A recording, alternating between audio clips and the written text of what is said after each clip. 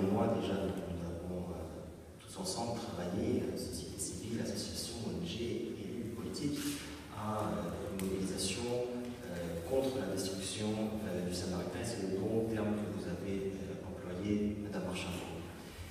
C'est aussi le bon terme que vous avez employé, M. Barouzet, quand vous parliez de repenser la ville de demain. Aujourd'hui, il faut même aller plus loin et repenser la politique de demain. On se retrouve dans une situation où on utilise des chiffres soit pour faire peur, soit pour, minimiser euh, une situation, pour en faire une question, un problème.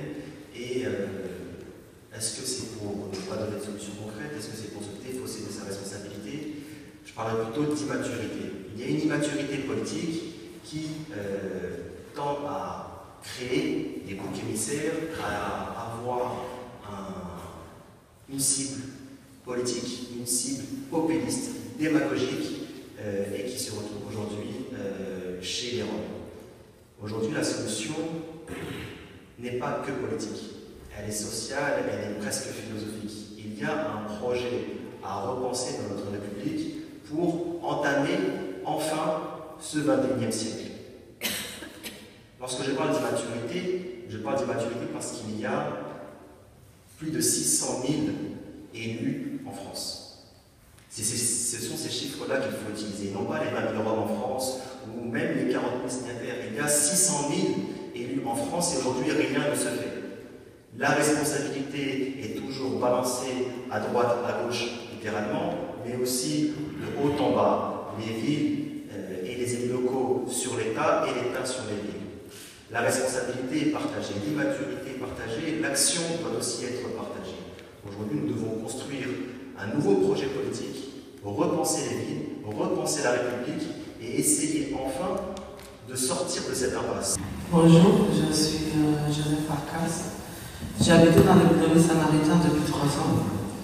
Et en ce moment-là, on est dans la rue, on est devant la mairie, on campe devant la mairie.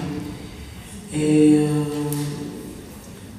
Malgré ce maire, on est devant la mairie, on n'a pas de proposition de logement, on n'a rien. Et euh, on a eu des propositions de logement euh, 115, trois jours de hôtel. Après, trois jours de hôtel, c'est fini. Après, les gens, ils sont revenus. Et en ce moment-là, nous, on est dans la rue, on est sans proposition de logement, sans rien.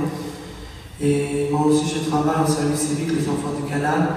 Et pour moi, c'est un grand problème parce que je ne peux pas continuer mon travail, parce que je suis dans la rue euh, et c'est vraiment difficile. Voilà. Et on a eu 40 000 signatures euh, à la pétition que j'ai lancée. Et euh, sur l'économie de la Grande on avait, on avait le Fondation Père Médecin du Monde qui a proposé un vrai projet pour nous. Et voulait nous mobiliser, voulait nous aider en démarche administrative.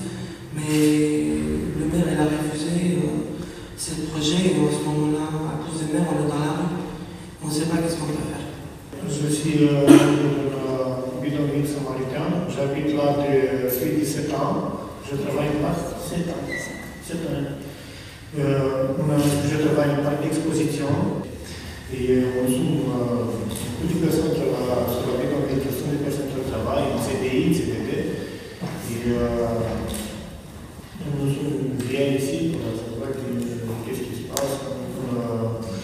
Nous ne voulons pas rester sur la rue comme ça. Je suis sur le travail, c'est trop difficile pour moi pour aller.